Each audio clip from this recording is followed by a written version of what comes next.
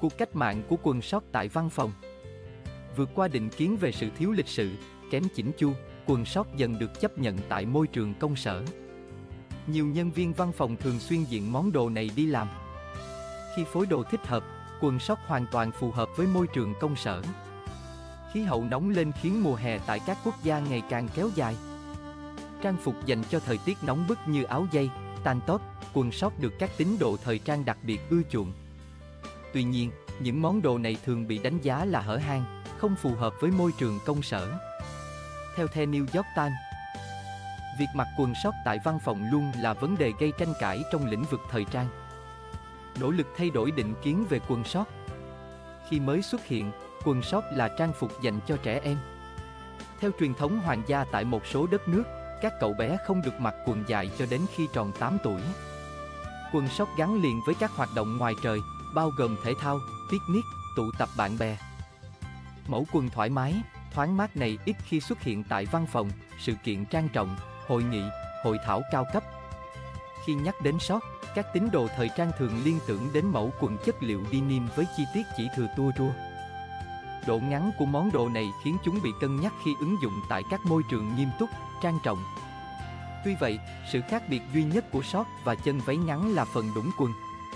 Thậm chí, khi diện quần lửng, quần đùi, người mặc không cần sử dụng thêm trang phục bảo hộ phía bên trong. Không chỉ phụ nữ, nam giới cũng phải đối mặt với nhiều định kiến khi diện quần lửng tại văn phòng. Short và dép được cho là kém phù hợp với các nam nhân viên văn phòng.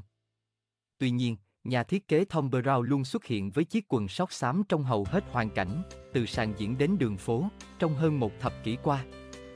Brown còn diện món đồ này trong phiên tòa giải quyết vụ kiện với Adidas. Thường xuyên mặc thiết kế này, nhà tạo mẫu góp phần đấu tranh cho sự xuất hiện của short tại các môi trường nghiêm túc như công sở, văn phòng hành chính. Khi quần lửng, quần đùi được chấp nhận tại những địa điểm đó, tín đồ thời trang nam và nữ đều có quyền diện chúng. Quần sóc thường bị đánh giá là thiếu chỉnh chu, kém lịch sự đối với môi trường công sở. Quần sóc có thể được diện bởi cả tín đồ thời trang nam và nữ tại văn phòng làm việc. Quan trọng là cách phối đồ. Trong mùa mốt đầu năm 2023, quần sót, lửng được giới thiệu trên sàn diễn của các thương hiệu thời trang cao cấp như Givenchy, Tom Ford, Gucci và hơn. Sự xuất hiện liên tục của món đồ này báo hiệu một xu hướng ứng dụng mới. Quan điểm quần sóc thiếu lịch sự, kém chỉnh chu chỉ là định kiến của các tín đồ thời trang. Để quần sóc xuất hiện một cách phù hợp tại văn phòng, khâu lựa chọn và phối đồ cần được quan tâm, chú trọng. Theo nhà tạo mẫu Tina Chai, nhân viên văn phòng nên tránh sử dụng sót chất liệu jean, linen, da bóng. Món đồ này cũng trở nên trang trọng hơn nếu được phối với blazer hoặc áo khoác dạ tuyết.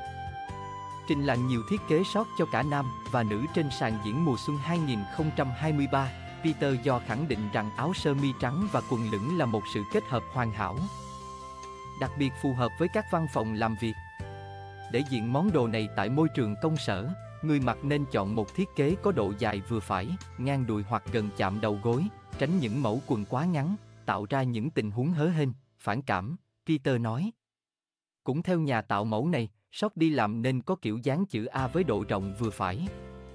Đường cắt may, mũi chỉ cũng cần chỉnh chu, tinh tế hơn trang phục xuống phố, đi chơi. Quần lửng nên được phối cùng sơ mi, blazer khi mặc tại văn phòng.